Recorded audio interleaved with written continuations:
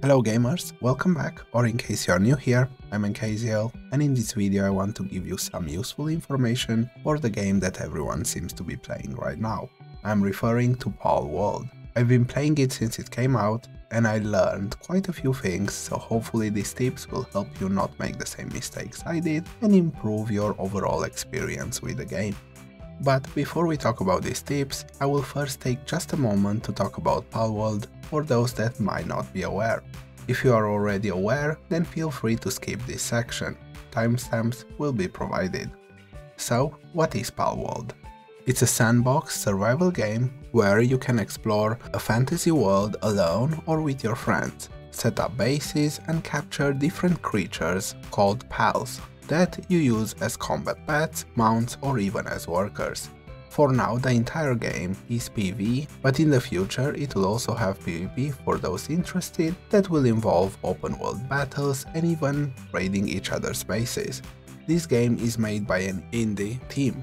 It uses stylized art for characters, while the environment is made with stock assets, so things might not even look consistent when it comes to the art style. It's also an early access title, so it has bugs, and the official servers are a laggy mess.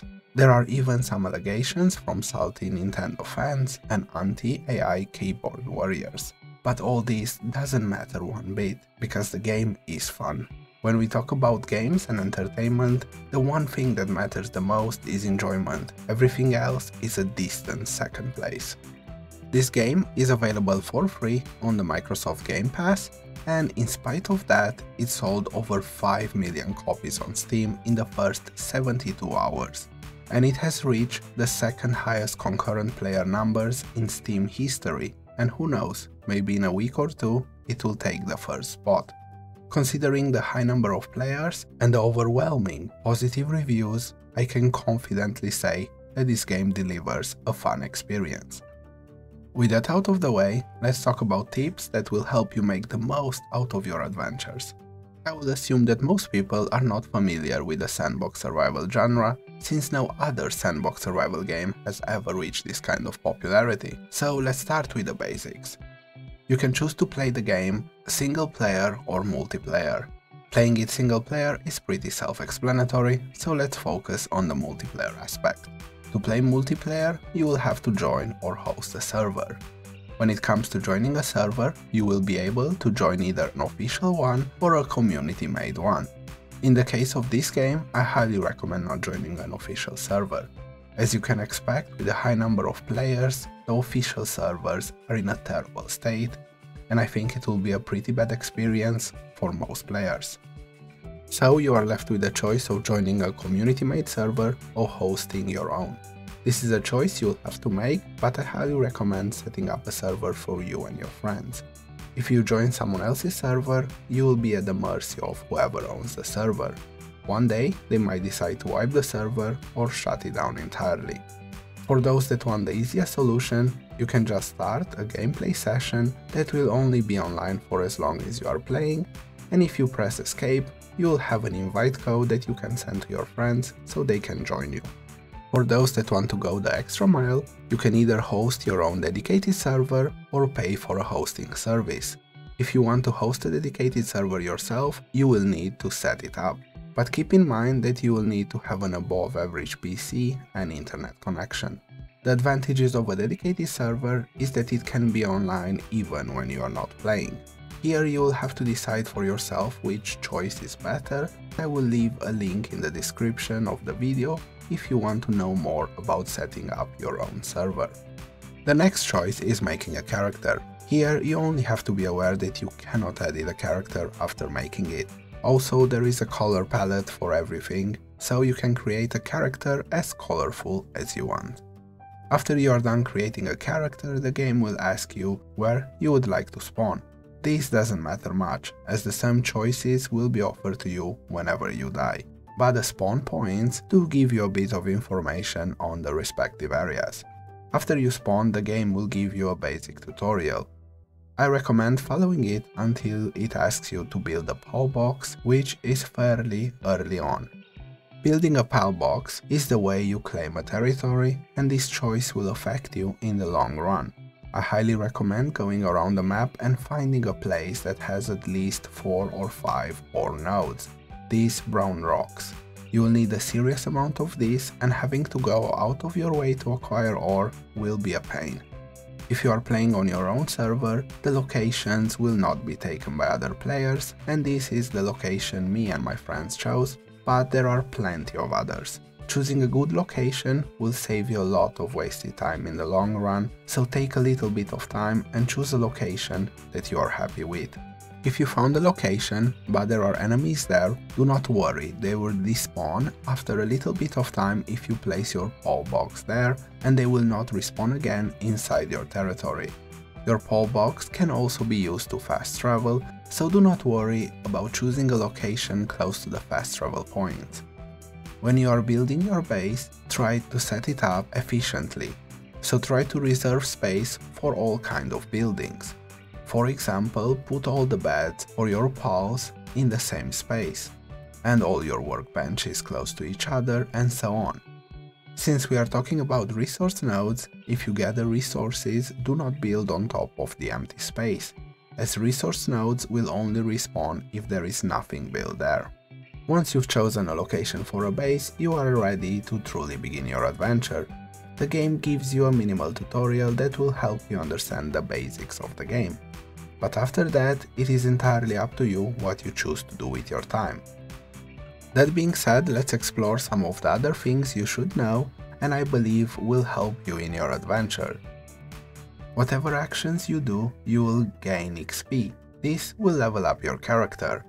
When you level up, you will be able to choose different stats.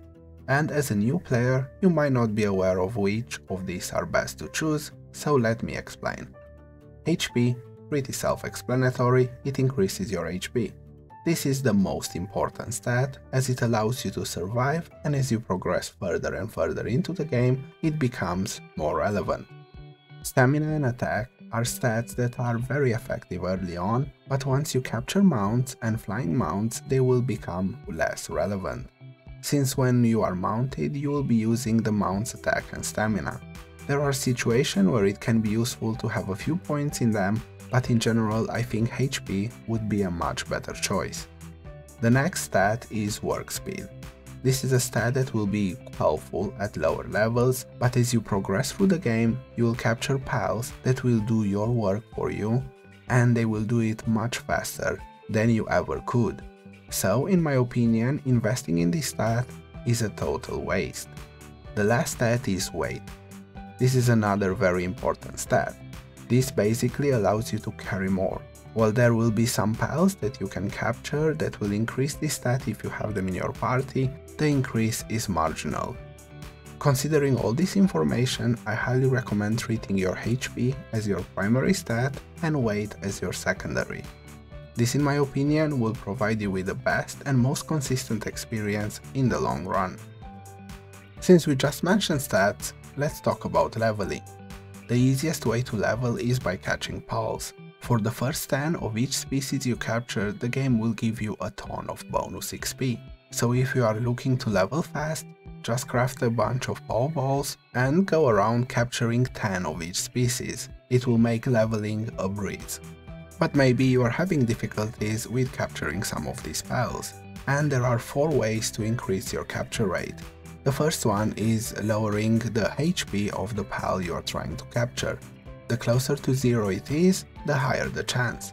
The second way to increase your capture rate is crafting higher quality balls. The third way is collecting effigies and increasing your capture rate at a statue. And the fourth way, that I am sure not many people are aware of, is by targeting the pals from behind.